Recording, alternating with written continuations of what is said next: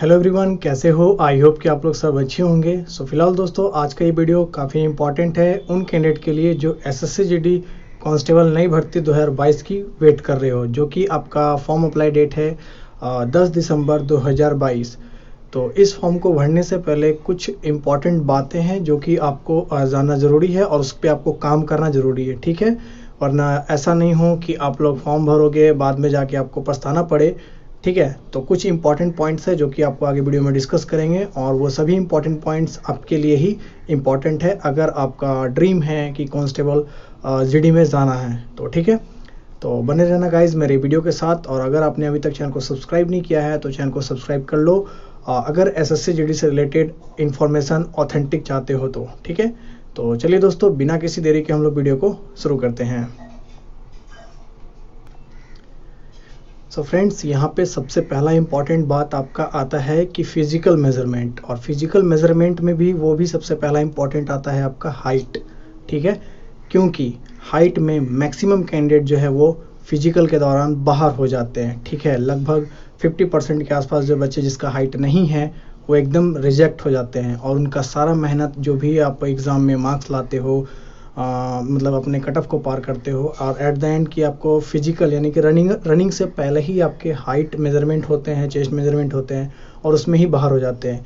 तो सबसे पहला पॉइंट है कि फॉर्म भरने से पहले आपका फ़िज़िकल मेज़रमेंट जो है वो एकदम एक्यूरेट होना चाहिए। तो देखो जनरल जो कैंडिडेट है जनरल है ओबीसी है और एससी कैंडिडेट वाले जितने भी मेल कैंडिडेट है उन सभी के लिए 170 सेंटीमीटर हाइट होनी ही चाहिए। ठीक है? अगर आपका नहीं है तो फॉर्म भरने से कोई फ़ायदा नहीं है। आप फ़िज़िकल में जाके रिजेक्ट हो जाओगे, ठीक है? वहीं पे अगर हम फीमेल कैंडिडेट की बात करेंगे तो जो जनरल कैंडिडेट है ओबीसी और एससी कैंडिडेट है, उन सभी फीमेल कैंडिडेट के लिए है आपका 157 सेंटीमीटर हाइट अगर इससे कम है तो आप फॉर्म ना ही भरो तो बेटर है, क्योंकि आगे आने, आगे जाके जो है आपको फ़िज़िकल में वो रिजेक्ट कर देगा, ठीक है? तो यहाँ पे जो आपको फ़िज़िकल मेज़रमेंट दिख रहा है, ये पोर्सन ये आपका जनरल कैंडिडेट ओबीसी और एससी कैंडिडेट के लिए, ठीक है? और रिलैक्सेशन की बात करें तो यहाँ पे all candidate belongs to ST यानी कि शेड्यूल ट्राइब जो भी एसटी कैटेगरी में आते हैं, चाहे वो मेल हो, चाहे वो फीमेल हो तो उन सभी के लिए थोड़ा सा रिलैक्सेशन है। तो मेल में अगर हम बात करेंगे तो 162.5 फीमेल में बात करेंगे तो 150.0 ठीक है? तो ये आपका एसटी कैंडिडेट हो गया और बाकी आपका ऊपर में बाकी जो जनरल कैंडिडेट है वो हो गया।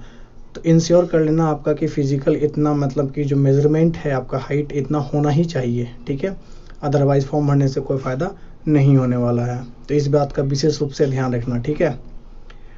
आगे चलते हैं तो आगे आपका आता है कास्ट और रेसिडेंस सर्टिफिकेट ठीक है? तो ये सबसे इंपॉर्टेंट है और आपको पता है कि नई भर्ती जो है आपका दिसंबर में आने वाला है।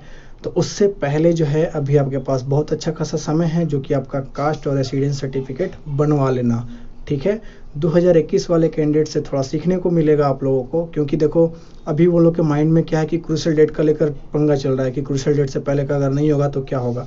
ऐसे सर्टिफिकेट तो एक्सेप्ट होगा ही लेकिन आप जो भी कैंडिडेट 2022 वाले भर्ती को अटेंड करोगे या फिर डालोगे तो आप लोग पहले से सिक्योर हो जाओ ताकि बाद में आपको कोई टेंशन ना हो क्रूशल डेट, का झमेला ना रहे इससे बेटर है।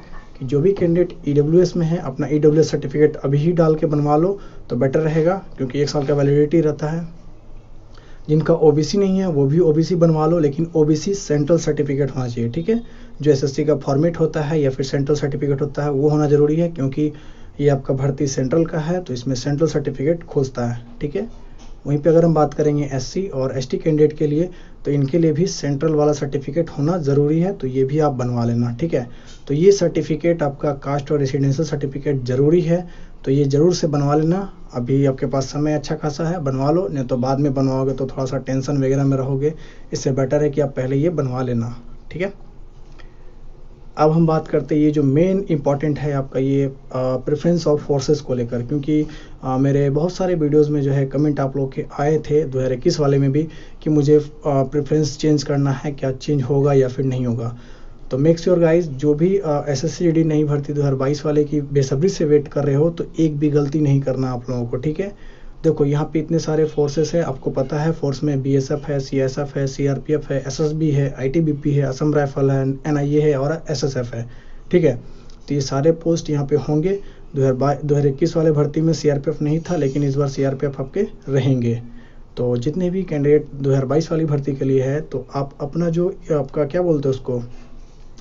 जिसमें आपको इंटरेस्ट है, चाहे आपका सी हो सीआरपीएफ हो, या फिर बीएसएफ हो, जो भी हो, इन सारे पोस्ट में तो उनको पहले प्रेफरेंस में रखना, ठीक है? बाद में ये नहीं कि बाद में वो चेंज हो जाएगा, ऐसा कुछ भी नहीं होता। है तो जिसमें आपको जाना है, उसको पहले रखना है, ठीक है? और ये बाद में कहीं भी चेंज नहीं होगा और आपके नोटिफिकेशन में लिखा हुआ रहेगा कि जो भी आप डालोगे फॉर्म भरते समय, वो आपका फुल एंड फाइनल रहेगा। तो सभी लोग अपना सोच समझ के डालना क्योंकि बहुत ऐसे कैंडिडेट है कि कैफ़े वाले को दे देते हैं कोई भी पोस्ट प्रेफरेंस उलट पुलट करके भर देते हैं लेकिन आपको जाना रहता है किसी और में और आपको पोस्ट मिल जाता कोई और। तो यहाँ पे बच्चे भी जो है वो डिमोटिवेट हो गए या फिर नहीं जाना चाहते तो वो बाद बाकी जो है फाइनल सिलेक्शन के बाद भी वो आ, मतलब छोड़ देते हैं। तो ऐसा आप लोगों को नहीं करना है जिसमें आपको इंटरेस्ट हो वो आपको पहले प्रेफरेंस में रखना है। तो ये सारी बातें यहाँ पे तीन इंपॉर्टेंट बातें थी जो कि ये बहुत ही मोस्ट इंपॉर्टेंट बातें हैं। फ़िज़िकल मेज़रमेंट तो आपको चाहिए ही चाहिए भाई। कास्ट सर्टिफिकेट वगैरह बनवा लो, आपको लिए अच्छा रहेगा जो 2022 वाली भर्ती डालोगे। और पोस्ट प्रेफरेंस के बारे में भी आपको मैं बता दिया कि पहले उसी को रखना है जिसमें आपको जाना है, ठीक है? और इससे आपको कई सारे फ़ायदे हों, फ़ायदे होंगे जो कि आपका मेरिट लिस्ट में बनने को, जब बनेगा मेरिट लिस्ट तो उसमें ज़्यादा से ज़्यादा फ़ायदा होता है, ठीक है? तो ये सारी बातें आप लोगों की थी। मुझे उम्मीद है कि आपको वीडियो पसंद आया होगा। तो वीडियो को पसंद आया तो वीडियोज़ को लाइक कर देना और एस एस से रिलेटेड जो भी करेक्ट इन्फॉर्मेशन ऑथेंटिक चाहते हो तो आप हमारे चैनल को सब्सक्राइब भी कर सकते हो, ठीक है? डिस्क्रिप्शन बॉक्स में लिंक मिल जाएगा ग्रुप का, वहाँ पर जाके आप लोग ऐड हो जाना। और आप लोग का क्या राय विचार है? आप नेक्स्ट वीडियो किस चीज़ पर चाहते हो, आप इसके लिए भी कमेंट बॉक्स में कमेंट कर देना ताकि मैं आपके कमेंट के अनुसार नेक्स्ट वीडियो डाल सकूँ। तो बस यही सब बातें थी। ओके दोस्तों तो फिर मिलते हैं नेक्स्ट किसी वीडियो के साथ। तब तक दोस्तों, जय हिंद, वंदे मातरम।